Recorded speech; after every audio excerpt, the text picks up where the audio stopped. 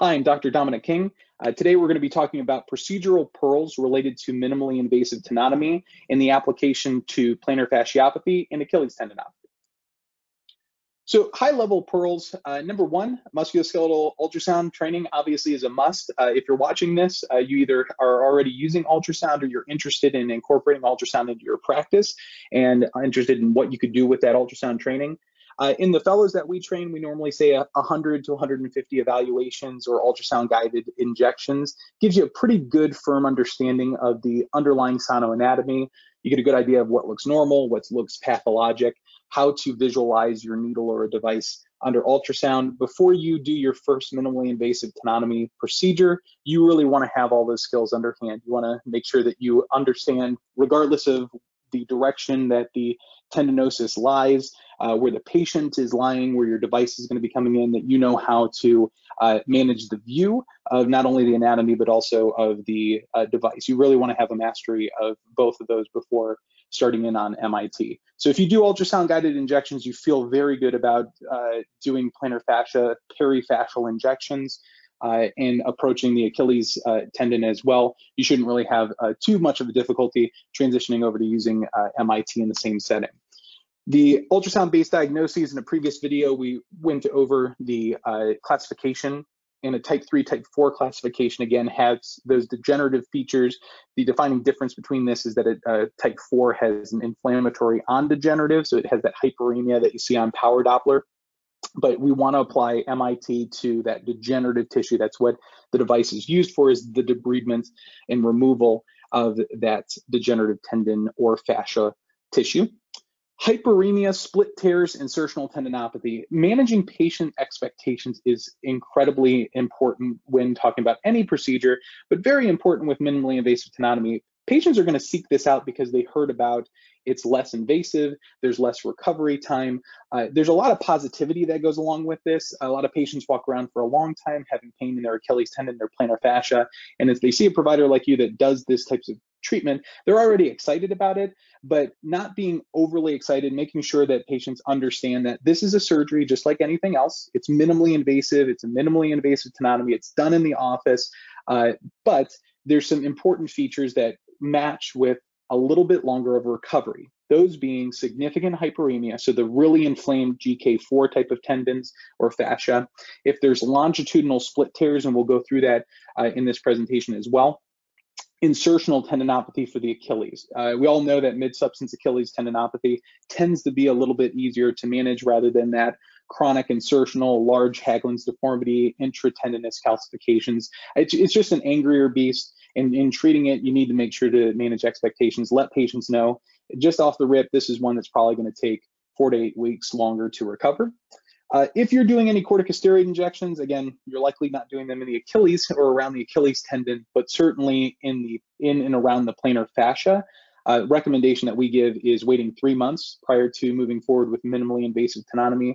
Uh, when you do an MIT, you want to make sure there's a good healing environment. You want a good bed of inflammation uh, that's going to naturally occur because you're doing a procedure there. You really don't want anything to interrupt. Uh, we feel that three months is a, an appropriate time uh, to wait before pursuing uh, MIT.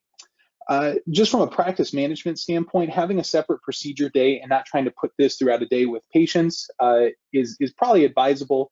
Uh, it makes sure that you're not rushing. Uh, it's nice to kind of match it all up into uh, one procedure day. Gives you opportunity for your staff to know what to expect during that day.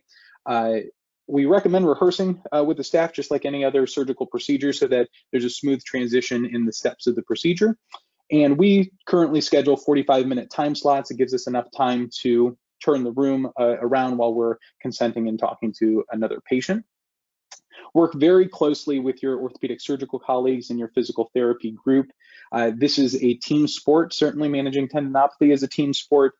For the referrals that are going to come to you uh, that have either some diagnostic ultrasound done by a musculoskeletal radiologist or if you're doing your own diagnostic ultrasounds, making sure that your team knows the types of patients that you want to see, the type of patients you want to send to them, and then from a physical therapy standpoint, that they understand what this is. This uh, should be respected just like a surgery would be respected by the physical therapy group, but they also need to understand that the inherent difference here is that we're not causing any damage to the good tendon tissue that's there. We're debriding out the degenerative chronic tissue.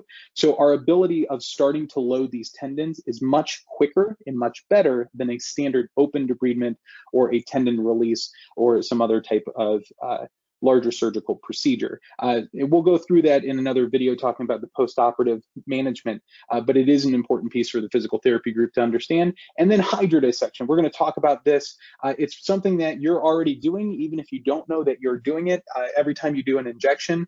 Uh, and we are specifically focusing on that uh, as being performed at the time of anesthesia with every procedure. And we'll show you a couple videos on that. For patient positioning for either approaching the plantar fascia or the Achilles tendon, plantar fascia, we have patients in lateral decubitus, depending on the area of pain. This is a nice way to be able to approach the medial aspect here. Uh, the way we approach it is in uh, transverse, so we're coming across the area of the plantar fascia. Same thing with the Achilles tendon, we have a patient prone, and we're coming, again, transverse to the uh, tendon. It may seem natural that the way the plantar fascia lies and the way the Achilles tendon lies that you'd want to come in plane longitudinal uh, to that uh, structure. But I'll show you in a couple of these videos uh, the reason why uh, we, we approach it in transverse. So the first thing that we were talking about and one of the last things was, was hydrodissection. This is a Kager fat pad squeeze test. So for those of you familiar with sonoanatomy of the Achilles tendon, the Achilles tendon is up here at the top. Kager fat pad sits underneath it. Uh, and then the interface between it here, you can see a very thin white line interface between the uh, Achilles tendon and the fat pad here. And you can see how that thickens right in this area. You get this hyperechoic area where it's a bit thicker. What we're doing here is we're squeezing the fat pad. So there's no pressure on the tendon. You have the ultrasound probe uh, longitudinal to the tendon with really light pressure, and then we're pushing with our fingers and kind of squeezing the fat pad underneath and, and kind of almost milking it down. And what you're noticing is tethering or a area of the tendon that's actually getting pulled down. If you look at a normal healthy Achilles tendon and healthy fat pad with no tethering, you're able to manipulate the fat pad quite a bit without actually pulling down on the tendon at all. So this is what we would consider a tethered tendon. Uh, we have a link down at the bottom of a case series that we put out discussing uh, the fat pad squeeze test and this tethered tendon uh, syndrome. Uh, a real easy thing to do to address this and when we're numbing up the tendon for the procedure i always start in the fat pad and perform a hydrodissection. So every time you do a corticosteroid injection or anesthetic injection or trigger point injection you're injecting that fluid into an area. And if you inject that fluid into an area of fascia where there is scarring, you're going to make a cavitation. You're going to separate those layers of tissue. And doing it under ultrasound, you can see exactly where you are. This is an old school Brisement procedure for the Achilles tendon. This has been in the literature for decades. Uh, this is a very new way of doing it under ultrasound guidance. So what you'll see is uh, this is a longitudinal out of plane view, uh, needle in the middle of the screen, and you can see the fascia actually splits. You're dissecting the fat pad off of the Achilles tendon. This in isolation can sometimes be a very helpful uh, procedure for Achilles tendon pain. So to identify the right patient population that may benefit from minimally invasive tenotomy with TenJet, you may want to start by doing a hydrodissection procedure in the office if there's not really a lot of intratendinous pathology, but if they have intratendinous pathology, you're going to be presenting a, a, patient that looks like they'll benefit from minimally invasive tenotomy.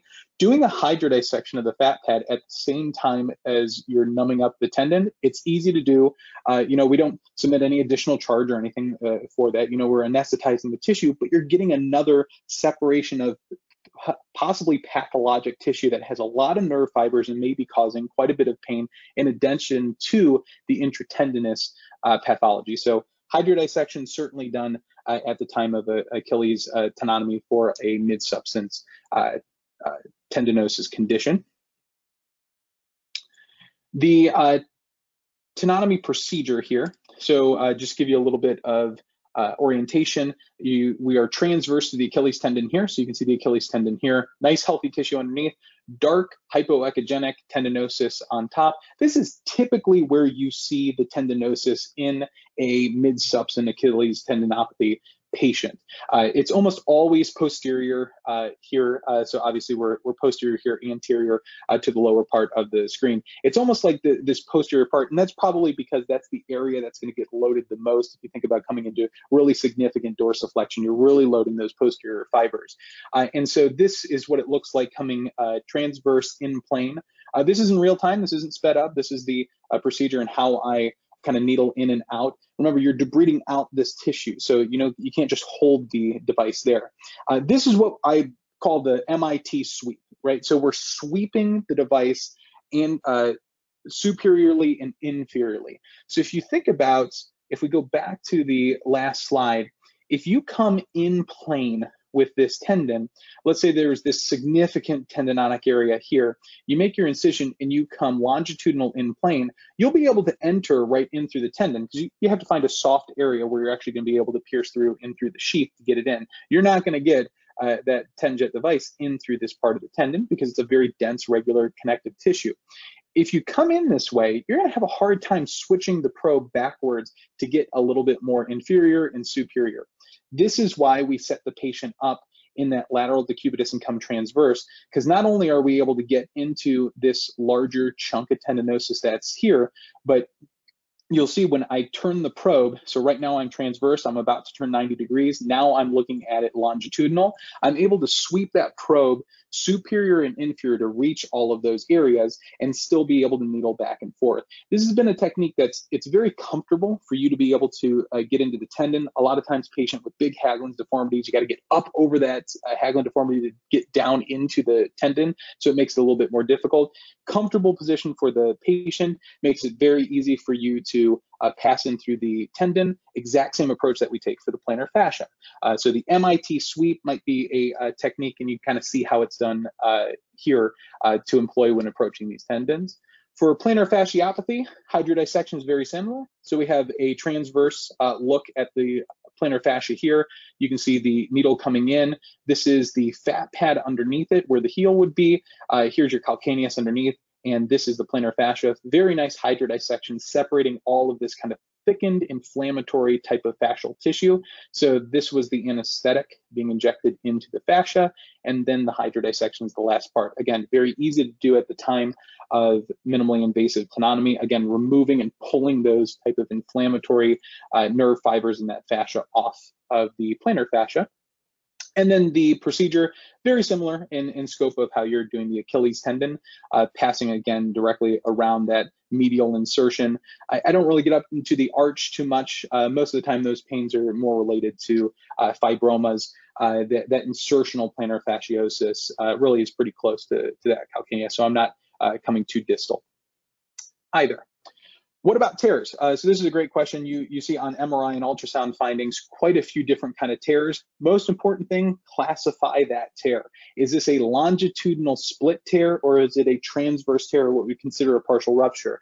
So looking at the calcaneus here and here in the Achilles tendon, understand the configuration and how this affects the loading of the tendon. If it's a longitudinal split tear, overall, you still, from a transverse cross section, have similar numbers of fibers that are running longitudinally, similar numbers of fibers that can be loaded. So even though in a longitudinal split tear, you have some small tearing here, you probably still have 95, 90% of the tendon that can be loaded longitudinally. In converse, a transverse tear is going to have areas transversely that are gone, right? So in a cross-sectional area, you have less number of tendon fibers that can be loaded. So this is where you got to work with your surgical colleagues uh, to talk to them about if it's a high degree partial rupture or transverse tear with a large amount of tendinosis and you're debriding that tendinosis, those are going to be the ones that conceptually may have a higher rate or risk of possible tearing if you continue to load them up, you load them too quickly after the procedure, or you're breeding out too much tendinosis. For longitudinal split tears, I have very little worry uh, from these because we have so many good longitudinal fibers that are still intact. So I would say in our uh, practice, in our clinic, in our group, uh, we knock on wood, have had no ruptures. We've done over a thousand of these procedures, and I would directly relate that to probably being picky for the patient population that we choose. We want to choose the right procedure given that pathology, not just apply the procedure because they have Achilles tendinosis. So this is one where I'd be more likely to refer out a high degree partial rupture to one of our surgical colleagues for open debridement repair and the longitudinal split tears with tendinosis or hyperemia for a minimally invasive tenotomy. It's a high level overview of the pearls for minimally invasive tenotomy for plantar fasciopathy and Achilles tendinopathy. Thank you very much.